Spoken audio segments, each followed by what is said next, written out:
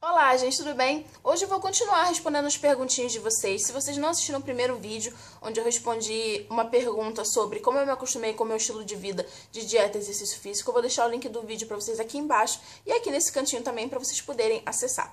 Hoje nós vamos responder mais uma das perguntas que eu pedi para vocês me mandarem pela minha página do Facebook, a página do blog Gourmet Lifestyle. Hoje a gente vai responder a pergunta da Elaine Cristina.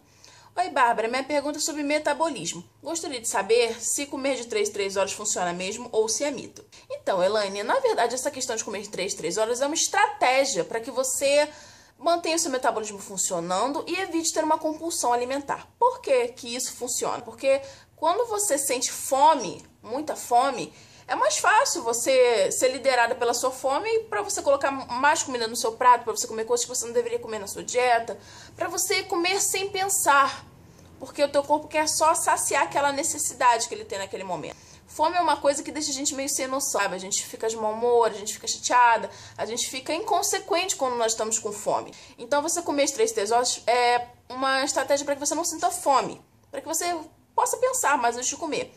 É, essa questão de comer as três, horas é assim: você tem que ter café da manhã, lanche da manhã, almoço, lanche da tarde, janta e ceia. Tem que ter, não, você vai ter de acordo com a sua necessidade, tá? Então, por exemplo, você toma café da manhã. Até chegar a hora do lanche da manhã, o seu, o seu organismo está queimando o que você comeu no café da manhã. Quando chegar no lanche da manhã, você vai comer quando você já estava começando a sentir alguma fominha, entendeu? Então, você vai comer pouquinho, porque a questão de comer 3, 3 horas é você comer mais vezes ao dia, menor quantidade, com mais qualidade, tá? Então, quando você for comer o seu lanche da manhã, você vai estar com um pouquinho de fome, você vai comer e quando você chegar no seu almoço, você não vai estar com tanta fome, então você não vai entupir o seu prato e comer coisas que se você parar para pensar depois você vai se arrepender.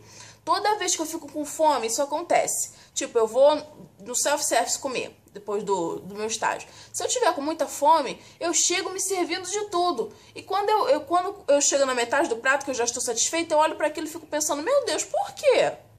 E é por isso que hoje em dia eu não me permito mais sentir fome dessa forma. Eu sempre levo uma frutinha, sempre levo um chips de inhame ou então de batata baroa, que eu já ensinei vocês a fazer aqui no canal. Vou deixar o link aqui embaixo também e aqui em cima também.